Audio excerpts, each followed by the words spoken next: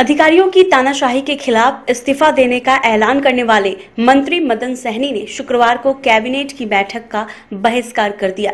जदयू नेताओं ने मदन सहनी को मनाने की कोशिशें की, लेकिन वे मान नहीं रहे हैं। मंत्री ने ऐलान किया है कि वे शनिवार को पटना आकर अपना इस्तीफा सौंप देंगे। हालाँकि मामला प्रेशर पॉलिटिक्स का ही है।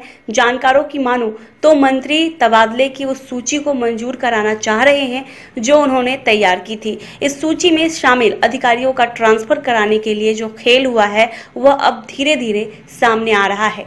गुरुवार को इस्तीफा देने का ऐलान करने वाले मंत्री मदन मदन सैनी उसी शाम दरभंगा रवाना हो गए थे। कल कैबिनेट की बैठक थी, जिसमें मंत्रियों को वीडियो कॉन्फ्रेंसिंग के ज़रिए शामिल होना था, लेकिन मदन सहनी उसमें शामिल नहीं हुए। मदन सहनी ने कैबिनेट की बैठक का बहिष्कार कर दिया। दरभंगा में मौजूद मंत्री मदन सहनी को मनाने की कोशिशें हुई, लेकिन वे मान नहीं रहे हैं। सूत्रों से मिली जानकारी के मुताबिक, जदयू के दो मंत्रियों ने मदन सहनी से संपर्क साधा, उन्हें पटना आने को कहा, लेकिन वे आज पटना आने को तैयार नहीं हुए। सूत्रों से मिली जानकारी के मुताबिक जदयू के दो मंत्रियों ने मदन सहनी से संपर्क साधा, उन्हें पटना आने को कहा, लेकिन वे शुक्रवार को पटना आने को तैयार नहीं हुए। उन्होंने कहा कि वे शनिवार को पटना आएँगे।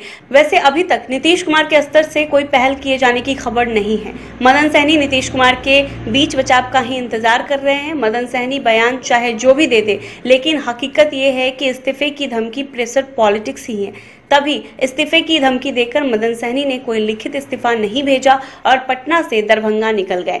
मंत्री मदन सहनी के करीबियों ने बताया है कि इस्तीफे की धमकी देकर वे दो काम कराना चाहते हैं। पहला ये कि उनके विभाग के प्रधान सचिव अतुल प्रसाद को हटाया जाए। दूसरा ये कि उन्होंने एसडीपीओ और डीपीओ के तबादले की जो लिस्ट फाइनल की थी, उसे मंजूर किया जाए।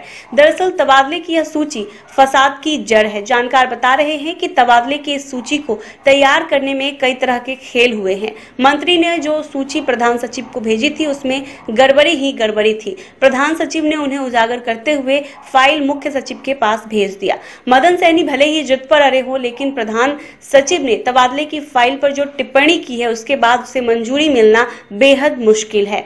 सूत्रों के मुताबिक प्रधान सचिव ने कई गंभीर टिप्पणी की है। अगर तबादला होगा भी तो मुख्यमंत्री को उसकी मंजूरी देनी होगी। लेकिन प्रधान सचिव ने जो टिप्पणी कर दी है, उसके बाद मुख्यमंत्री के मंजूरी का सवाल ही नहीं उठता। हालाँकि काफ़ी कम विधायकों के सहारे मुख्यमंत्री बने नीतीश कुमार प्रेशर में हैं। लिहाजा वे मदन सहनी को इग्नोर भी नहीं कर सकते हैं। ऐसे में बीच बचाव का रास्ता ढूंढा जा सकता है और प्रधान सचिव का तबादला कर मंत्री को मनाने की कोशिश की जा सकती है।